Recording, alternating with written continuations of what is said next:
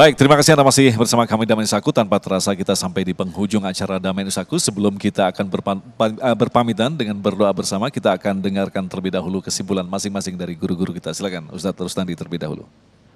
Baik, eh, jamaah sekalian yang dirahmati oleh Allah, juga pemirsa Damai Indonesia Ku TV One, di mana pun Anda berada. Kaji kita pada hari ini itu mengenali diri untuk mengenali Allah. Kuncinya saya ambil dari kesimpulan dari Kiai tadi bahwa yang terpenting itu kaji. Bukan ngaji saja, tapi harus kajian. Jadi kalau pengajian itu kalau baca Quran, baca doang, itu namanya ngaji. Ngaji. Quran sebagai pedoman hidup kalau dikaji. Kalau ngaji, baca doang, dapat pahala apa? Dapat. Bisa ngerubah kehidupan enggak? Enggak. Kenapa? Enggak tahu maknanya. Dan otomatis kalau dia nggak tahu makna dari ayat yang dia baca, nggak bakalan robah dalam kehidupan dan nggak bakalan mengenal siapa uh, Tuhannya dan fungsinya apa dia hidup di alam dunia. Kaji Quran bukan hanya pengajian, baca Yasin benar Yasinan, tapi kajian Yasin itu juga benar. Wallahu a'lam. Kiai Tata, silakan. Ibu bapak yang saya hormati, Majid Majidi pernah berujar, ini sutradara berkebangsaan Iran kita sering memposisikan Allah itu laksana tokoh fiksi dalam sebuah cerita sinetron. Tokoh yang dikenal, gagah perkasa, tetapi tidak pernah didekatinya. Kita kenal beberapa tokoh dunia persilatan di film, tetapi kita tidak dekat dengannya, hanya kenal. Tetapi tidak akan dekat kalau tidak kenal. Dan tangga untuk mengenal Allah itu dengan mengenal diri. Wanoh kadiri, wanoh kagusti. Tadi postulatnya dibacakan, man arfa nafsah fakod arfa robbah.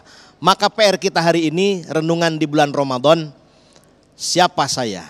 Di mana sekarang saya berada? Apa tugas pokoknya? Bagaimana cara melaksanakan tugas pokok itu?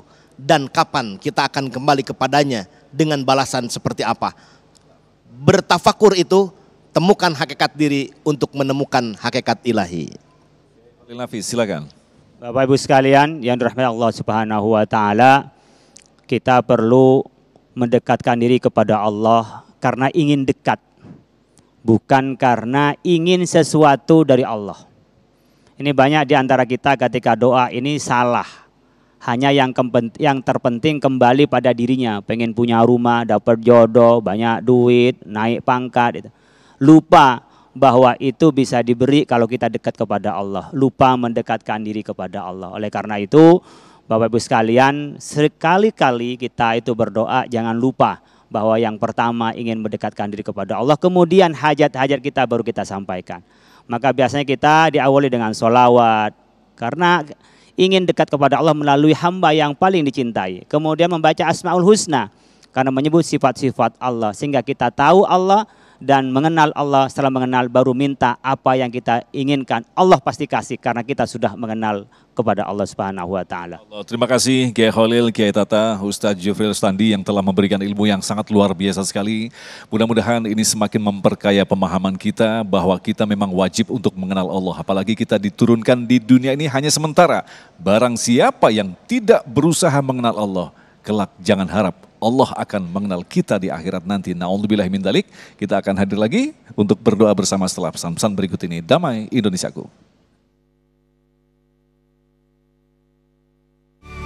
Demikian pemirsa yang dirahmati Allah, damai usahaku untuk kesempatan hari ini dan insya Allah besok di Senin 10 April kami masih hadir dari Masjid An-Nafisa Pesantren Cendekia Amanah bersama Kia Haji Syahdan dan Ustadz Abdul Syukur. Agung Isulhak dan kerabat kerja yang bertugas serta pendukung acara ini Sarung Wadimor tentu Sarung kita mengucapkan terima kasih atas perhatian Anda. Assalamualaikum warahmatullahi wabarakatuh. Bapak Ibu sekalian, mari kita akhiri majelis ini dengan berdoa kepada Allah Subhanahu wa taala jamaah Masjid An-Nafisa, polisi, TNI yang hadir pada kesempatan kali ini. Nastaghfirullahaladzim, nastaghfirullahaladzim. Allahumma salli wa sallim ala Sayyidina Muhammad wa sallim. Ya Allah, Ya Rahman, Ya Rahim, Ya Fattah, Ya Razak, Ya Fa'alul lima yurid. Lakal hamdu kama yanbaghi li jalal wajhil karim wa azimi sultanik. Allahumma anfa'na bima 'allamtana, Allahumma 'allimna bima yanfa'una. Allahumma faqihna wa faqih ahlana wa qarabatin lana fi dinina. Allahumma inna nas'aluka fahman nabiyyin wa hifdzal mursalin wa ilhamal malaikatil muqarrabin bi rahmatika ya arhamar rahimin. Rabbana atina fid dunya hasanah wa وفي الآخرة حسنة وقنا عذاب النار. سبحان بك رب العزة عما يصفون وسلام على المرسلين والحمد لله رب العالمين.